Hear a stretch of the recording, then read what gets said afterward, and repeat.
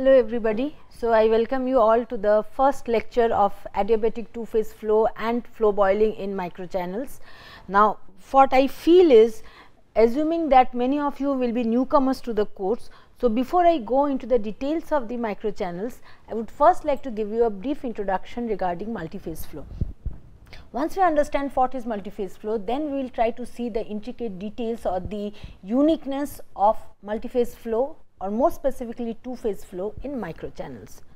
Now, in order to define multiphase flow, just the presence of two phases does not necessarily imply that it is multiphase flow. For example, flow through packed bed is not multiphase flow, but on the contrary flow in a fluidized bed is multiphase flow. So, therefore, the way we define multiphase flow is if you can see here it is the simultaneous flow of two or more phases where the interface between the phases is influenced by their relative motion. Right? This particular this particular phrase regarding the interface is something very very important because that differentiates single phase and multi phase flows now, as we all know that we can have different types of uh, even if we take the simplest type of multiphase flows also we can have different types. We can have gas liquid we can have liquid solid and we and we can also have gas solid type of flows. We can also have liquid liquid types of two phase flows as well. so, just in uh, continuation to what I was saying when we have a gas liquid flows then the entire range is multiphase starting from a large amount of liquid, very less amount of gas to a large amount of a gas and very less amount of liquid. But on the other hand, when we are dealing with gas solid and liquid solid flows, we find that when the solid loading is quite high such that the interface becomes fixed, it is single phase while when the solid loading is comparatively low, the gas or the liquid loadings are high, then under that condition we have two phase flows. Well, now the multi-phase flow it has got a large number of applications. Uh, I have just jotted down the applications here in power system, in heat exchangers, evaporators, condensers, wherever we have phase change or rather wherever we have one at least one phase which is changing its phase. We have it in a large number of process systems. In fact, if, if you look at this particular slide, you will realize that when we are dealing with chemical processes, then in that we usually deal with processes with chemical reaction and without chemical reaction. Now, in all the processes which you have already studied in your mass transfer as well as in your kinetic subject, we find that usually the steps involved are we mix the two phases, maintain one particular phase either in the form of a droplet or bubble or film something of that sort such that the interfacial area is quite high and the maximum amount of transport be it heat, be it mass or the maximum amount of reaction can take place. And then finally, we separate the phases and there are also some other additional or some others subsidiary phases uh, uh, rather steps also involved. But in all these things we find that there are two phases involved and for obvious reasons we would we would always prefer a flow as compared to a batch system. So, therefore, it is very evident that for most of the situations we come across multi-phase flows. In fact, there are very few single phase flow applications in nature as well as in industries. Now, the thing which I was telling about the interface, well that the interface is influenced by the relative motion. This creates the uniqueness of multiphase flows. Due to this what happens if you are dealing with a single phase flow maybe say water flowing through a pipe the flow can be either laminar or it can be turbulent. But when you are dealing with two phase flows we find that the two phases they can distribute in a wide variety of ways. For example, suppose we look at the distribution say gas liquid flow through a vertical pipe. We find at one extreme what do we have? If there is moderate or high liquid velocity and low gas velocity, gas is distributed as bubbles in the continuous liquid phase. We go to the other extreme, there is a large amount of gas, less amount of liquid. Here what do we have? By intuition, you it might appear to you that well for a large liquid small amount of gas, the gas was dispersed as bubbles in the liquid phase. So, when we go for a large gas low liquid, it might be obvious that the liquid will be dispersed as droplets in the gas phase, but this does not happen. Why? Because it is the natural tendency of the liquid phase to wet the pipe wall. so, therefore, we find that there are a variety of distribution it is true and the distribution it depends upon a large number of factors. For example, it depends on whether the pipe it is vertical, horizontal, inclined. It also depends upon whether the flow in the vertical pipe is in upflow or downflow. And just like single phase flows, definitely the distributions they depend upon the phase flow rates and the physical properties of the two phases.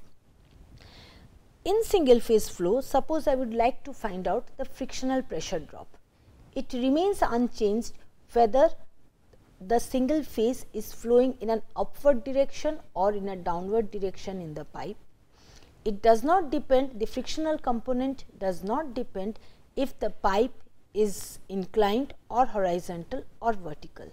But in this case, we are going to find that all these input parameters they matter. So, therefore, it comes to one's mind that definitely the two phases can be can distribute themselves in no matter whatever ways and we have no means of predicting it. But fortunately, there are certain things which also govern the distribution of the two phases.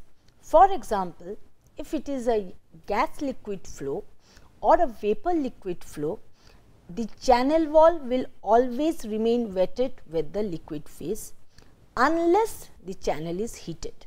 For adiabatic flow condition, we will always have that wall wetted by the liquid phase. Either if it is heated or if the wall is highly hydrophobic, then of course, it is different. Otherwise, the channel wall will be wetted with the liquid phase.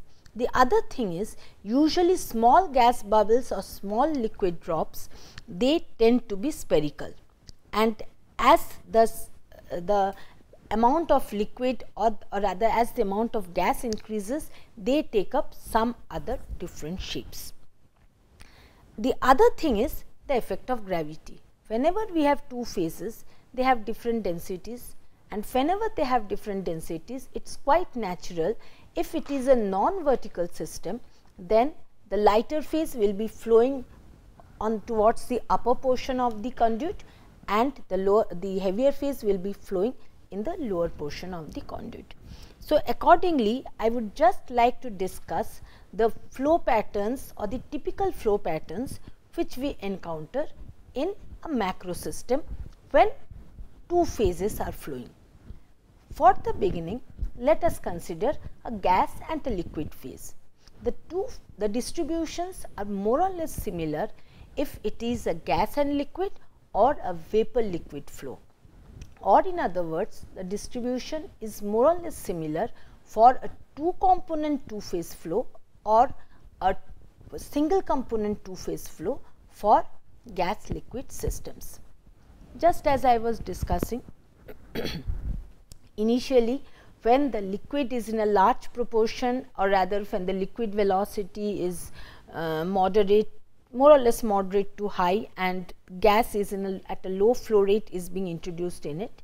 Quite naturally the gas will be flowing as bubbles because the liquid will have to wet the pipe wall and the liquid is in a larger proportion. So, naturally it tends to shear the gas phase due to the high liquid inertia, the gas phase tends to get sheared.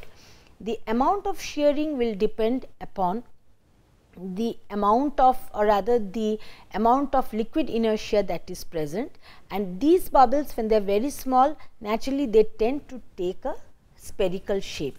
So, therefore, if we observe what we find is that initially we find that spherical bubbles start flowing in the liquid phase and as we keep on increasing the gas velocity naturally the bubbles they tend to elongate they do not remain spherical anymore they tend to take some irregular or maybe some sort of cap shaped, maybe some sort of an ellipsoidal shape. So, they take a large number of shapes yet the distribution remains unaltered. There is a continuous liquid phase and a dispersed gas phase. Accordingly, no matter what the shape, size and frequency of the bubbles are, this is known as the bubbly flow pattern. Now, as we keep on increasing the gas velocity say, what happens? More and more amount of these bubbles are formed, they start getting larger, their number also increases. So, they coalesce very fast and as they start coalescing, they take up a typical shape with a hemispherical or a circular nose, it is better a circular nose and a cylindrical tail. Now, these type of bubbles they are very typical and they are quite a frequent occurrence I should say I should say in gas liquid flows and these are commonly known as Taylor bubbles. In fact, if you would like to empty water from any particular bottle with a narrow neck, we find during emptying the a gas bubble starts entering or a gas finger starts entering and as the gas finger starts entering the liquid drains from the side. This is how liquid drains from any particular tube or a conduit or a bottle or whatever it is. And in all those things we find that the gas assumes a typical shape with a circular nose and a cylindrical tail and as this particular bubble it starts increasing in size due to increased gas velocity, we find that the nose shape remains unchanged. The extra volume of air it goes to increase the tail portion of the bubble. Now, what happens as we had increased the gas velocity from the bubbly flow pattern, the bubbles they start coalescing and they start and then the bubbles start getting elongated and finally, they assume the typical axis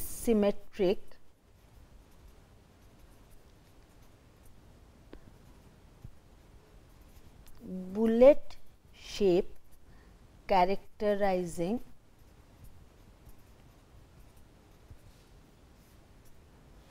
Taylor bubbles.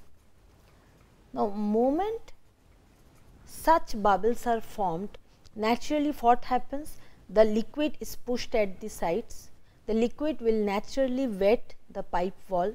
So, therefore, it flows along the sides in a downward motion and after flowing when it has reached the tail of the Taylor bubble, it comes in contact with the liquid portion which is there just below the Taylor bubble. Now, moment this downward flowing jet meets the upward flowing liquid here, naturally a good amount of turbulence is created and due to this turbulence, some amount of bubbles they get sheared from the tail of the Taylor bubble and this makes the liquid slugs aerated. So, therefore, under this condition what do we find? if you if you observe this particular slide you will find that from in this particular situation we find that there is a Taylor bubble, there is a liquid slug, it can be aerated or unaerated and then there is again another Taylor bubble. So, if you observe the any particular cross section of the pipe, you will find that at one point a Taylor bubble is rising, at the other point the liquid slug is rising and again at other point the Taylor bubble is rising and this goes on. This particular phenomena goes on. So, at any particular cross section if you find, you will not find the mixed or well dispersed appearance of the bubbly flow pattern. On the contrary, you will find a periodic appearance. A periodic appearance with Taylor bubbles and liquid slugs following each other in quick succession. And this particular phenomena, this particular distribution, it is known as the slug flow pattern. I am spending a little more time on this particular slug flow pattern. We will be understanding the reason for it as we proceed through our lecture. Now, again from this slug flow pattern, what we do? We keep on increasing the gas velocity. So, what happens? Initially, the Taylor bubbles they start becoming longer and longer and they start becoming longer as they start becoming longer, they become unstable. And due to the shearing action of the liquid, a time comes when these particular bubbles are no longer stable and they take up some irregular shape of some irregular chunks which are randomly distributed in the liquid phase and the liquid we find that since the, the, the, liquid it is wetting the pipe wall here it is coming down here and then it is meeting with the upflowing liquid there. So, with everything the liquid it exhibits or rather the whole two phase mixture it exhibits a random chaotic up and down motion. The whole flow passage it appears as a totally mixed and an extremely random and a chaotic mixture and this particular distribution is known as the churn flow pattern. Right? And again from this churn flow pattern if we keep on increasing the gas velocity we find that these irregular chunks they keep on increasing in size, they, they keep on their frequency increases and there is a totally chaotic random phenomena.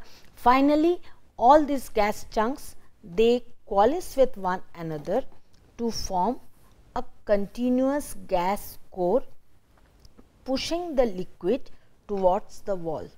Okay. So, therefore, this was slug from there we obtained the churn flow pattern and finally from the churn we are just increasing the gas velocity in this particular direction. Liquid velocity is constant. Say for example, we are just changing one parameter to understand the influence of rather gas velocity on distribution. We find that finally we come to a situation when the gas phase forms a continuous core and the liquid forms an annular film. So, this and this particular flow pattern with a continuous gas core and an annular liquid film between the gas core and the pipe wall, this typical flow pattern is known as the annular flow pattern. And as we further increase the gas velocity, the interfacial waves start becoming more and more wavy. As it starts becoming more and more wavy, it tends to pick up some amount of liquid from the film and this particular liquid it gets dispersed as liquid droplets in the continuous gas core. And further if the gas velocity or rather the liquid velocity is increased more, maybe at some point is reached where the liquid droplets they gradually coalesce and they form wisps sort of things where we call it a wispy annular flow, but anyhow it is an annular flow. So, now if you see what, what do we observe? In a nutshell, whatever I have described, it is exhibited in this particular presentation. We find that when we had a very small amount of gas, the appearance was completely mixed. And we find that under that condition, if you continuously look at one particular cross section, you will be seeing that every time you you you get the same particular you see the same particular distribution. There is some particular liquid where some amount of gas bubbles are distributed. Keep on increasing the gas velocity you find that the homogeneous distribution which you are observing so long is now no more. It now assumes a periodic phenomena with intermittent appearance of first a Taylor bubble, then a liquid slug, again a Taylor bubble and a liquid slug. In this particular way it follows and this particular uh, phenomena it is very interesting I would like to say referring to my previous thing. Here what do we have? We have a Taylor bubble region where the Taylor bubble and the liquid film are flowing countercurrent to each other. Then we have a liquid slug region which may be single phase liquid or an aerated liquid slug, but the whole mixture is going up. Again we have a Taylor bubble region. So, in this Taylor bubble region it, it, it, it is sort of an annular arrangement, but mind it in annular flow both the film and the gas core are flowing upwards. In this particular case the Taylor bubble is flowing upwards, the gas core is flowing downwards. Okay. So, here we have a completely periodic appearance and again from here we keep on increasing the gas velocity. We again come across another chaotic appearance. But this appearance in no way this is also a mixed appearance. This is bubbly flow is also a mixed appearance but they are distinctly different. If you can perform experiments in the lab you will find that here you can find discrete bubbles dispersed in the continuous liquid phase the continuity of the liquid phase will be more or less evident. While in this particular case you will find that it is a totally turbulent random mixture which is going up and down and therefore, you really do not understand what is continuous and what is the discontinuous phase here. Then as you go to the annular flow, you get a totally different, a separated flow distribution, where the gas and the liquid are occupying completely different flow areas within the pipe cross section and they are interacting only at a, across a well defined interface. Now, the same pipe you take and you just make it horizontal. There are two things as I was telling. Firstly, there is gravity. What does gravity do? It tends to separate the two phases. So, naturally at low velocities buoyancy will be more important as compared to inertia of the phases. And therefore, due to the predominant effect of gravity, you will find that the two phases they, are, they flow in separate layers, the gas phase on the top, the liquid phase on the bottom. You increase the velocity, you find that the interface becomes more and more wavy, yet the two phases are in a separated flow pattern, but this separated flow pattern is slightly different from the separated flow pattern you had encountered in the vertical case or the annular flow pattern. Okay. And apart from this, as we increase the phase velocities, naturally inertia also sets in. Due to the importance of liquid inertia, there is shearing effect and we have plug flow, we have slug flow, we also have bubbly flow at the other extreme we have annular flow, but remember one thing for horizontal pipes, all the flows are more or less asymmetric. The liquid on the if the if it's bubbly flow, the bubbles will be primarily concentrated on the upper region. If it is annular flow, the film will be thicker in the lower portion as compared to the upper portion. If it is slug flow, the Taylor bubbles or the elongated plugs will be primarily concentrated towards the upper portion of the pipe. So, therefore, what we find is that mainly in this particular situation there are different flow patterns which are coming into picture and it is primarily due to the interaction between liquid inertia, your uh, viscosity, the surface tension and gravity or the body force. So, from a balance of these we get different particular flow patterns in this particular case. And the video which has been taken in the gas dynamics lab of the mechanical engineering department of IIT Kharagpur that shows the distribution in the bubbly flow. It shows the elongated Taylor bubble and most and the aerated liquid slugs the most interesting feature is the churn and the churn annular flow patterns if you observe these particular flow patterns you will see the oscillating random chaotic motion which takes place in this particular situation. Now, instead of a liquid and a gas, if we just introduce another liquid here, then in that case we find that the flow patterns change continuously.